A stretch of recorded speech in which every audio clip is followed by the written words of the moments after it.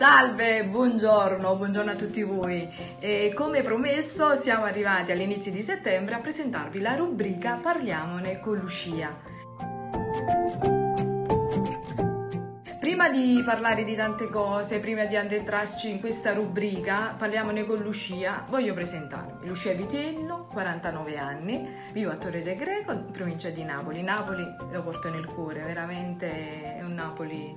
Eh, mi, cioè, se fossi fuori, mi fuori Napoli, mi sentirei male perché io sono napoletana e quindi anche se sono della provincia però ho lavorato tanti anni a Napoli e mi sento napoletana. Voglio parlare un po' di me. Io ho un figlio solo che vive a Milano, che saluto, ciao Savio, e um, sono... io lavoro praticamente questo lavoro da vari anni perché è nato questa capacità di fare un gioiello. Eh, sono tanti i motivi.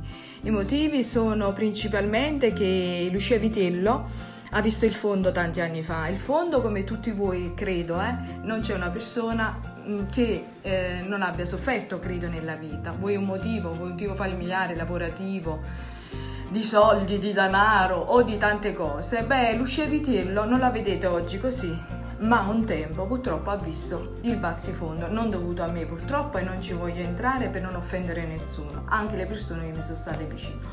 Però eh, da lì è nata la voglia, un riscatto alla vita. E quindi ecco, eh, io facevo tutt'altro lavoravo in un'azienda navale, settore chartering, dove purtroppo ecco, le navi all'epoca i noleggi eh, si abbassarono così tanto che eh, l'azienda navale dove ero ha perso tante navi e io da lì è nata la voglia di cambiare e dissi a quest'età non voglio più dipendere da altri, anche perché ero consapevole delle mie capacità.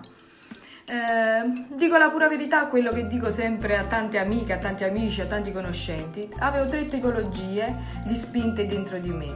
Il gioiello, la ceramica vietrese, non so se la conoscete sicuramente, che è molto rinomata, e praticamente il filato. Logicamente avevo una base che le persone mi potessero seguire, perché avendo le capacità ecco, di fantasia, di eh, messa a punto di tante cose, Andai in Toscana, in Toscana dove ci c'erano degli amici eh, di vecchia data, appunto di ex colleghi che lavoravano per questa azienda navale, dice Lucia sali sopra e appuntiamo un sito.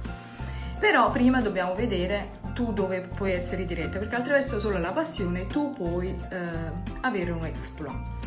Portai questi tre miei progetti, ma mi tennero sotto una settimana e praticamente dissero che il gioiello faceva per me, come si vede. E praticamente eh, da lì è nata l'idea poi di sfociarmi nel, nel gioiello stesso.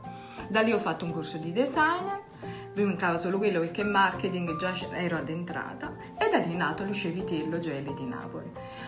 All'inizio ero molto scettica, non volevo il mio nome, infatti ho combattuto con i miei consulenti del sito eh, perché volevo un nome di fantasia, dedicato a Napoli, dedicato al Vesuvio, dedicato a, a Sorrento, dedicato a Pompei, dedicato agli scavi, non lo so, qualsiasi cosa, ma non a me, perché io amo stare dietro alle scene. E da lì poi è nata la voglia e puntare su me stesso è stato proprio questo.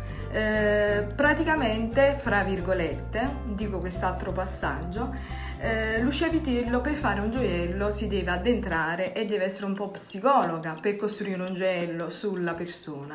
E così è nata la rubrica Parliamone con Lucia.